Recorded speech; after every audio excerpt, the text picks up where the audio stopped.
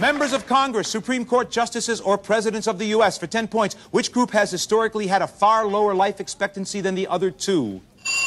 Morehouse Hobbs. Members of Congress. No. Can you take it, Tuskegee? Tuskegee, Nurse Friendly. Presidents. Yes, presidents is correct. Tuskegee is today's winner. And our national champion.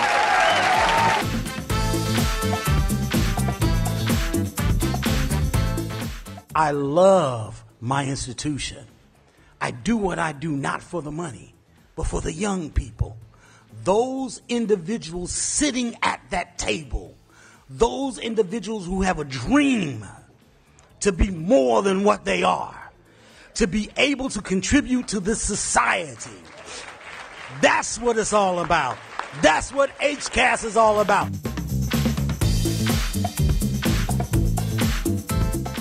The Yoruba make up more than 20% of what most populous African country? Nigeria. Right for five more.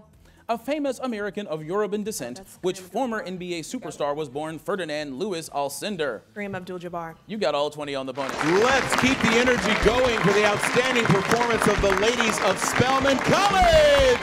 Their first national championship in year 30.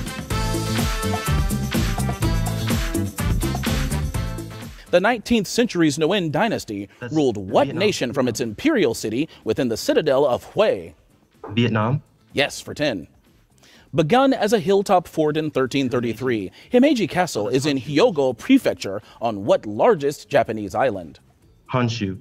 You got all 20. And now we have to congratulate and celebrate five-time champions Morehouse College.